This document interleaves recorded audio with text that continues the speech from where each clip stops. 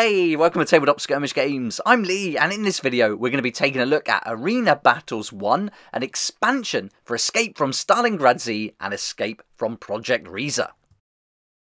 In this expansion, you'll be able to use all your miniatures from those games, and now you can go player versus player as you recreate small scale engagements between groups of survivors during the first years of the World War II zombie outbreak.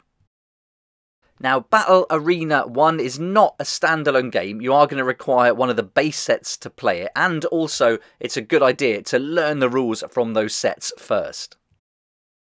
I'll be using the Projekt Riese base set, and that's going to give us everything we need to play alongside all the components that you'll get in Arena Battles 1.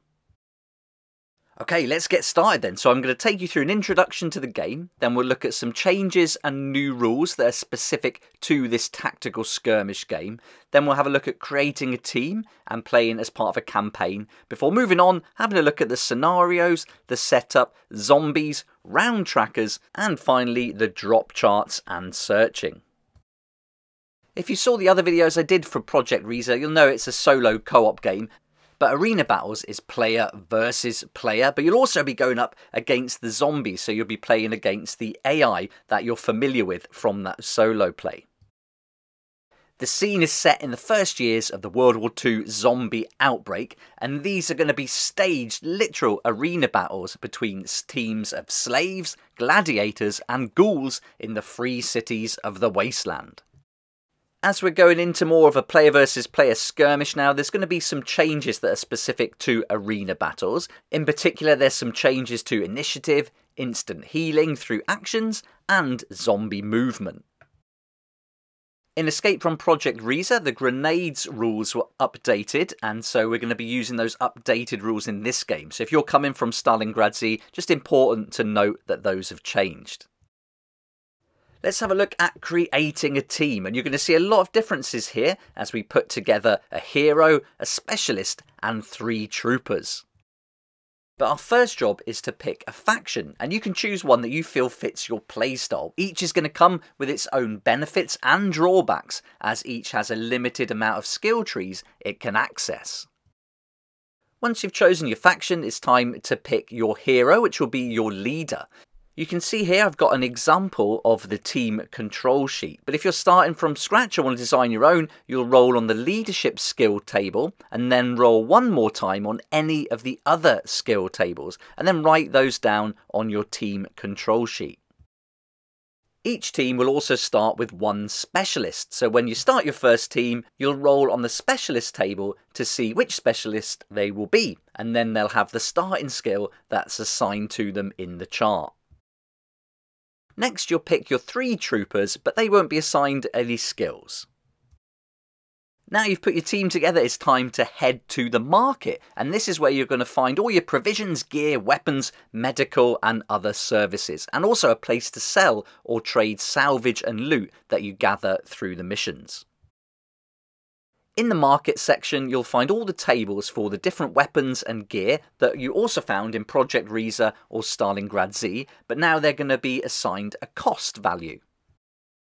You'll find a selection of universal charts with items that any faction can use, but some factions have charts of their own that are specific to them. At this stage, you're ready to play your first game, and they recommend playing Bank Job Scenario from the rulebook. But if you want to go further, you can start diving into the campaign rules, and this will take you through recruitment, contacts, a base camp, the armory in much more detail. If you play a campaign, you're going to need a campaign record sheet, so print that off, and then you'll be keeping track of achievements, any items you've gathered, the fate chart, which includes injuries, and also the special events. On top of that, you've got experience, which includes handicap bonuses, collecting income and prizes, gear tax, campaign victory conditions, and healing. You'll notice that there's lots of different scenarios and missions, including Team Deathmatch, Capture the Flag, The Big Score, Scavenger Hunt, and Rescue. Each scenario comes with an introduction, you've got the round track, the setup instructions, your objectives, spawns and drops, and special rules, as well as your victory conditions. When you've selected a scenario, in this case we're going to be using the bank job, it's time to set up. And there's a series of instructions to go through. First you have to set up your team, then you're going to be placing any doors and spot terrain, also loot drops, and then we're going to be looking at the zombie pool. You'll determine the zombie pool by rolling on the zombie pool chart. All numbers in this chart refer to markers, so you'll roll 1d12 and add the average number of games teams have played to the die result. The zombie spawn points are where zombie reinforcements will arrive. You'll gather all 10 zombie spawn markers and shuffle them number side face down, and each player randomly chooses a number of spawn point markers as instructed on the chart. Then there are the zombie start points, and these are where the onboard arena zombie forces begin. Just like when we put our team together, you can use the miniatures and zombies from the previous games, including the Alpha Primes, Betas, and Omegas. With the zombie pool decided, now it's time to check the objectives, the special rules, the victory condition, and get started with the game. Each scenario will come with a round tracker, and you can roll for it randomly if it's not included in the scenario already. Each round track will tell you where and when to spawn zombies and how many. There's one more thing to look at, and that are the drop charts, and these describe contents of crates that are dropped or left behind in the arena by the promoters or those who have previously occupied the premises. It depends on the arena. When a team member moves adjacent to a drop marker, roll a d12 to see the contents and then consult the drop charts. There'll be times where you can also search for random contents in objective squares and search locations. Carry out a search action, roll the dice, and then consult the relevant search chart to see what they found. The Arena Battle set will give you three double-sided game mats to play on. These are really fun, and here's the one that we'll be using in the game. You've also got the option to play on the tabletop using 3D terrain and using measurements instead of the grid system. This is going to give you total freedom to play it as you would any other tabletop skirmish game, and there's a few rules that just help convert from the arena battles grid rules to the tabletop rules. That's now covered the rules for Arena Battles 1, and hopefully you've enjoyed this introduction. This is part of their Gamefound campaign that you can add on and select as one of the tiers.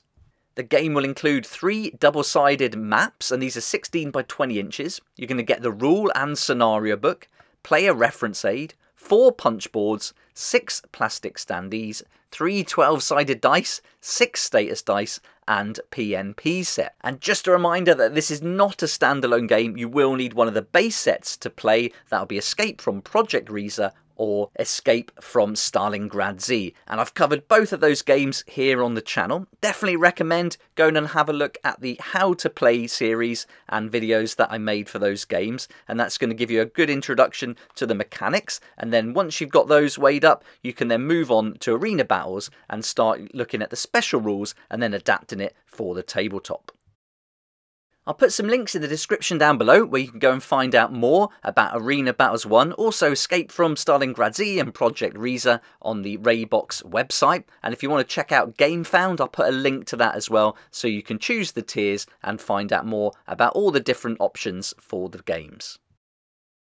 Thanks so much for watching. I hope you liked the video. Hope it was helpful. I'd love to know what you think about this, how it takes it from a solo game and then adapts it to a tabletop skirmish PvP game. Let me know in the comments down below. But for now, thanks again. If you liked the video, it'd be great if you hit the like button, subscribe for more videos like this one, and I look forward to seeing you here next time on Tabletop Skirmish Games. A massive thank you to all my Patreon supporters for helping me keep going with these regular videos. And if you'd like to support the channel and get some great perks, then I've put a link down below that will take you to our Patreon page where you can have a look at everything that you get there, including missions, quests, expansions that we publish for our games like Population Z, Lunaria Chronicles, and more. We're on a mission to grow our Patreon now as we're developing more games with more expansions, and we'd love it if you'd come along for the ride too. Links down below. Be great to see you there.